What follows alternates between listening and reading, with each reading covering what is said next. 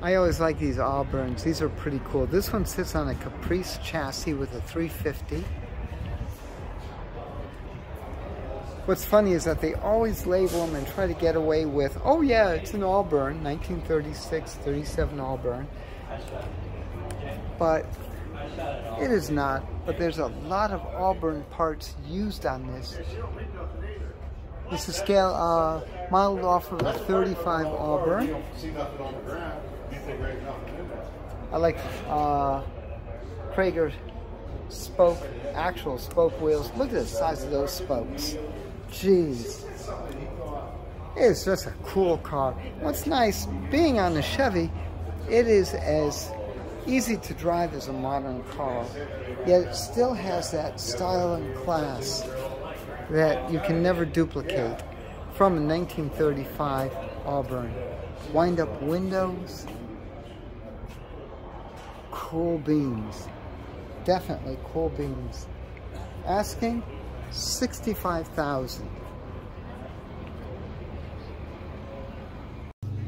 Well, folks, you know me with uh, Studebaker. This is a 63 Avanti. Absolutely beautiful. Just so you know, this is built off of a Lark platform. They were all V8s though. Uh, the 289s.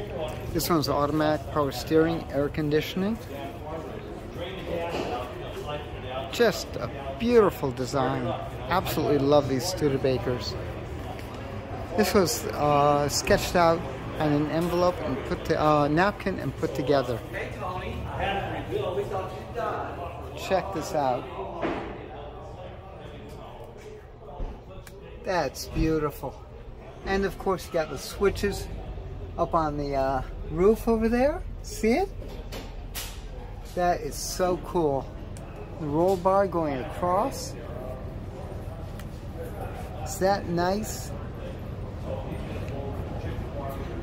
Rebuilt, original rebuilt engine.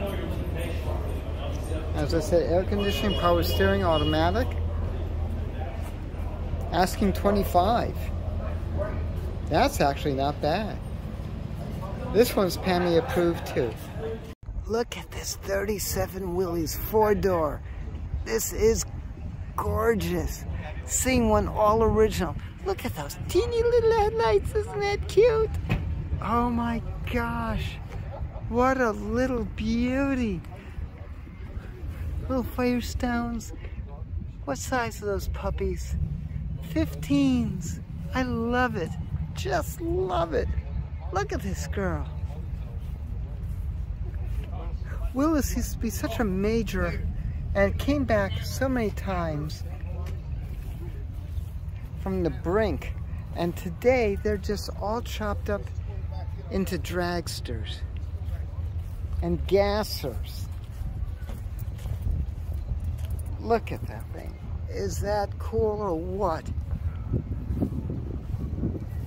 They tried to sell America on small cars. Couldn't manage it. Unfortunately so. I'll show you the Willys hubcap.